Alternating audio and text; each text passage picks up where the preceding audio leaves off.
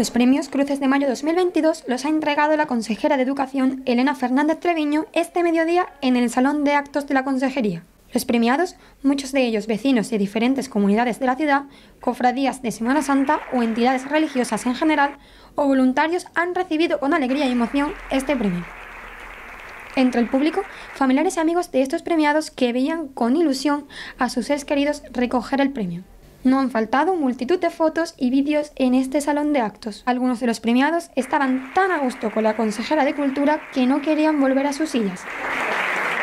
El jurado ha estado formado por personas muy variadas y conocidas porque ya habían formado parte en otros concursos con anterioridad. El jurado lo forman eh, gente que siempre participa en este tipo de eventos, personal de festejo, de la Consejería de Festejo, pero también algunas personas que, bueno, pues, que han participado en concursos de carnaval, en concursos de, Navidad o de feria, ¿no? del mundo también de, pues, del ámbito de la cultura, ¿no? habituales familias que, que, también se han presentado otras veces y que este año no, entonces hemos contado con ellos para que también valoren esas cruces de mayo.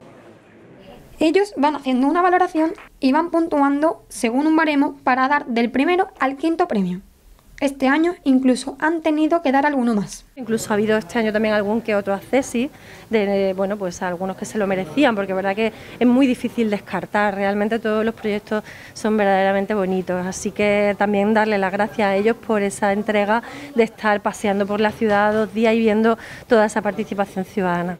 Los criterios a la hora de puntuar estaban muy bien explicados en las bases. Estaban muy pautados en las bases. Estaban muy pautados en las bases, pues la originalidad, la creatividad, el número de flores empleados, eh, pues eso, la, dificultad en, lo costoso de la elaboración, el número de elementos empleados, también en la superficie que ocupaba, todo viene muy pautado y muy claro en el bombe que sacamos con las bases para que quien se presente pues sabe qué criterios eh, suben puntos y además ellos lo conocen muy bien y lo hacen fenomenal.